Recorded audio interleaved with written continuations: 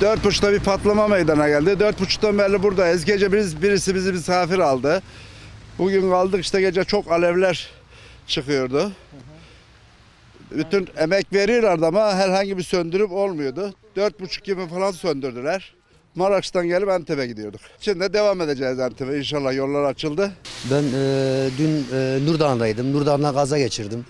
Orada yollar kapalıydı. Biz Maraş yolu deneyelim dedik. Geldik Maraş'a kadar kazasız belasız geldik.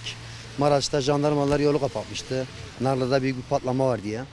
Biz de, ben Karavikliyim. Nereden oturuyorum? Çıkamadık. Ee, orada arkadaşlar fesatlıklardı. Baya sabaha karşı söndürdükleri ateşi. Baya bir patlama olmuş. Yol kapanmış.